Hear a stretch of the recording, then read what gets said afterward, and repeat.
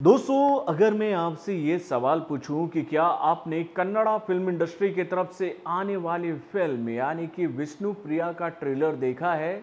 अगर आपने इस फ़िल्म के ट्रेलर को नहीं देखा है तो आप मेरे इस रिएक्शन को देखिए और उसके बाद जाकर इस फ़िल्म के ट्रेलर को ज़रूर देखिए। जब आप इस फ़िल्म के ट्रेलर को देखोगे तो भैया, ये ट्रेलर तो आपका दिल ज़रूर जीतेगा और उसके साथ आपको ये सोचने पर मजबूर कर देगा कि भाई, बहुत जल्दी ही हो सकता है कि ये खबर हमें बॉलीवुड से मिल जाए। कि इस फ़िल्म का रिमेक बॉलीवुड में बनने वाला है। तो दोस्तों, वाकई में बहुत ही प्यारा है भैया विष्णु प्रिया का ये ट्रिलर और भाई, इस ट्रिलर के तो कुछ शॉट ने ही शुरू में मेरे दिल को जीत लिया है। तो दोस्तों, कैसा है विष्णु प्रिया का यह ट्रिलर चलिए समझने की कोशिश करते हैं इस छोटे से रिएक्शन के माध्यम से। हेलो फ्रेंड्स मैं हूँ नरेंद्र और मैं आपके लिए लिख रहा हूँ और एक खास रिएक्शन जो कि जुड़ी हुई है कन्नड़ा फ़िल्म इंडस्ट्री की तरफ़ से आने वाली फ़िल्म यानी कि विष्णु प्रिया के ट्रेलर के रिएक्शन से।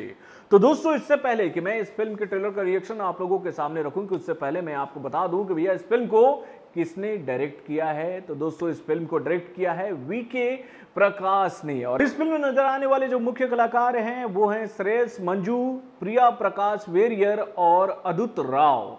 तो दोस्तों, ये तो बात हो गई इस फ़िल्म के डायरेक्टर और एक्टरों की। अब चलिए हम लोग बात करते हैं भाई इस फ़िल्म की। तो दोस्तों, वाकई में इस फ़िल्म का ट्रेलर जिस तरीके से हम लोगों के सामने रखा गया है, उसमें ये बात बताने की कोशिश की गई है कि भैया, प्यार में कितनी गहराई होती है और भाई, जब भी इस प्यार का बहिष्कार समाज करता है तो उसके खिलाफ प्यार करने वाले किस तरीके से अपनी आवाज़ को उठाते हैं वो दिखाने की कोशिश की गई है इस फ़िल्म के ट्रेलर में। यानी कि भैया, शुरुआत में हमें हसी वादियों से होते हुए एक सड़क नज़र आती है, जिस पर एक बंदा अपने बाइक से जा रहा होता है। और उसके बाद कई सारे खूबसूरत विजुअल हम लोगों के सामने आते हैं, जिसमें हम ये बात देखते हैं कि भाई, श्रेयस और प्रिया का प्यार जो है, वो परवान चढ़ रहा है। और उसके बाद अचानक फ़िल्म में ये बात हमें देखने को मिलती है कि भाई, इन दोनों के प्यार के खिलाफ ये जमाना हो जाता है। यानी कि भैया, ऐसी तो कई सारी कहानियाँ हम लोगों ने देखी है, प्यार और प्यार के खिलाफत करने वाले समाज की।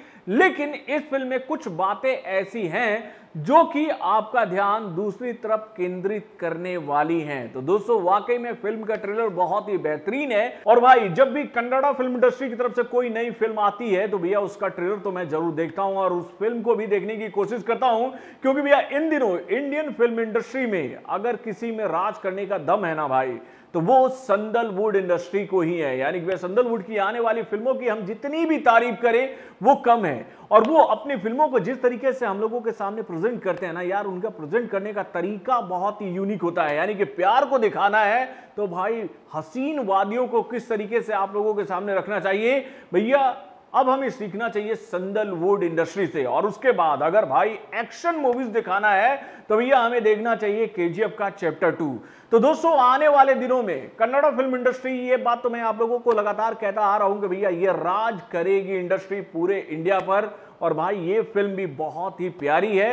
तो भैया, इस फ़िल्म का हिंदी वर्जन हम लोगों के सामने नहीं आने वाला। इसके हिंदी वर्जन का हमें इंतज़ार करना होगा जब इसका डब वर्जन हम लोगों के सामने आ जाए। क्योंकि भैया, मुझे तो उम्मीद है कि ये फ़िल्म शायद ही मेरे शहर में रिलीज़ हो पाए और भाई, इस फ़िल्म को देखने के लिए काफ़ी मेहनत, मुशक्कत मुझे करनी पड़ सकती है। तो दोस्तों, आप अपने कमेंट के माध्यम से मुझे बताइएगा कि आपने विष्णु प्रिया का ये ट्रेलर देखा कि नहीं? और अगर आपने देख लिया है तो भैया, क्या लगता है? इस फ़िल्म की कहानी कैसी होगी? क्योंकि भैया, अंत का जो लास्ट शॉट है ना, वो मुझे थोड़ा सा कंफ्यूज कर गया। क्या ये आर एक्स हंड्रेड वाला प्लॉट है क्या? क्योंकि लास्ट शॉट में हम देखते हैं कि भैया, जो जावा बाइक है, वो खाली सड़क पर खड़ी है, जंगलों के बीच में। तो बॉलीवुड से जुड़े और भी कई सारे खबरों को जानने के लिए हमारे चैनल वरुण जैक्सन को लाइक सब्सक्राइब करना ना भूलिएगा और हमारे अपडेट्स को जानने के लिए बेल आइकन को ज़ोर दबाइएगा।